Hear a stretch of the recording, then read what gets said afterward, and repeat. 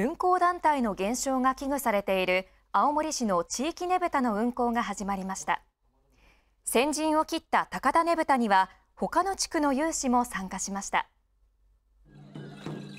高田ねぶたには高田地区7町会や横内地区などからも300人ほどが参加しました。地域ねぶた存続に向け地域の枠を超えた連携が始まっています。竹の骨組みでろうそくを灯す昔ながらの竹ねぶた。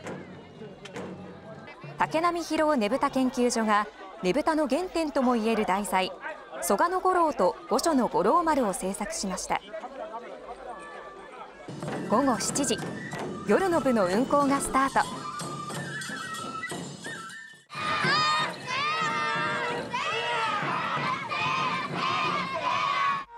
ねぶた林の音色とラッセラーの掛け声を町内いっぱいに響かせながら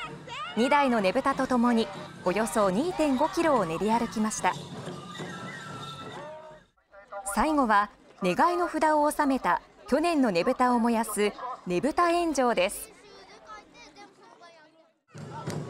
ねぶたが燃え上がり始めました。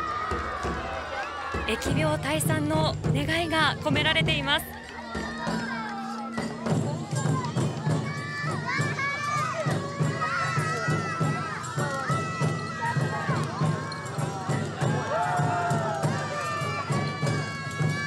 鬼から先に燃えたからなんか風邪とか疫病退散になってほしいなって思いました。こうやって地域のお祭りがあるのどう思いますか？あのあってよかったっていう気分になった。